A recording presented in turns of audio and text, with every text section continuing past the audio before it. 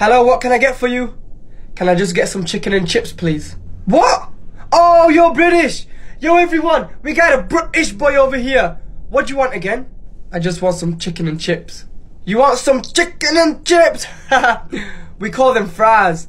Oh yeah, you Americans call them fries. Yes, fries. And what drink do you want with that British boy? Can I just get a Fanta, please? Okay, I thought you was gonna say a bottle of water. Can I just get my food? I need to go. Sorry, British boy. We'll get your chips and a bottle of water. Bro, what the hell is wrong with you? Yo, son, you should study more. But why? So you can get good grades. Then what? You'll get a good paying job. Then? You'll get a big house, a nice car, and have a better life. Okay, then? And then you'll be able to relax. What do you think I'm doing right now? Oh, great heavens! Hey, Mom. Yeah, sweetie? Can we go to the store? Yeah, sure, in a little bit. Why? I really want that electric toothbrush that you have. What? I don't have an electric toothbrush. Yeah, you do. Every time Dad goes to work, I hear you use it for two hours straight, like zzz, saying how amazing it is. Oh, great heavens! Emotional damage.